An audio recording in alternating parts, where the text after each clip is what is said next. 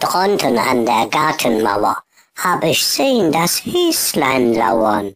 Eins, zwei, drei legt ein Ei, lang wird's immer dauern und nun sucht's in allen Ecken, wo die schönen Eier stecken. Rot und blau, grün und grau und mit bunten Flecken muss ich die Eier suchen und dann, ja weiß ich nicht was.